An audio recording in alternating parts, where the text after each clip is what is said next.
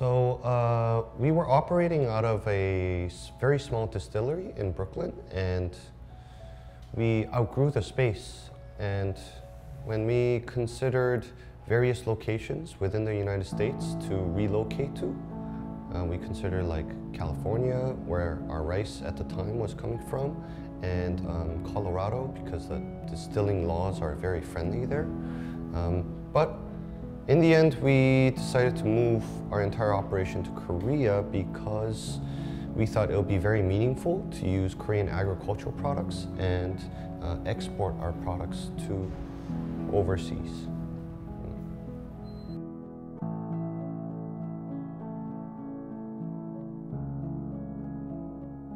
Because we make our products domestically, we felt that it could we could create a casual cocktail bar, uh, very much like um, neighborhood bars in Brooklyn. And neighborhood bars in Brooklyn, they always have food, and you know, um, the interior is very much concrete and wood. And one of the interesting things about uh, this hotel that we're located in, which is Ryse Hotel in Hongdae, um, they started out actually uh, selling concrete. So we felt that that kind of fit in very nicely as well.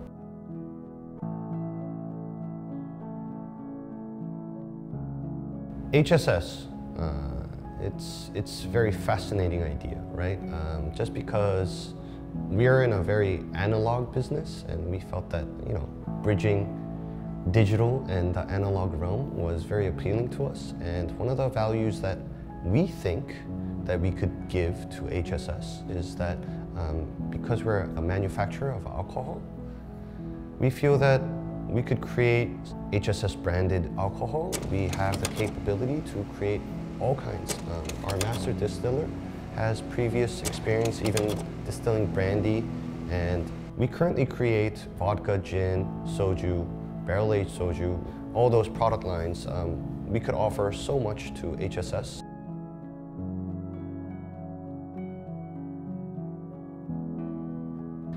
So the vision um, that me and Leon talked about um, was that we wanted to create a very uh, comfortable yet luxurious space where HSS members could hang out. And one of the aspects that we are thinking is that instead of having a larger bar, uh, because we wanted to maximize comfort for our guests, uh, it'll be mostly like armchairs and sofas, and then uh, a bartender will bring a trolley and make the drink in front of you, right? Um, so it's, it's more like kick back and relax kind of vibe, right? And then there's probably gonna be a pool table. One of the things I think that is our strength, um, more than other perhaps like bar owners or bar operators, is that because we make our own alcohol, um, our costs are relatively very easily controlled. Therefore, we could spend all that into food, right? And so we will be offering, you know, kind of over-the-top quality food. Uh, just imagine like dry steak with like, or like bunch of caviars, right?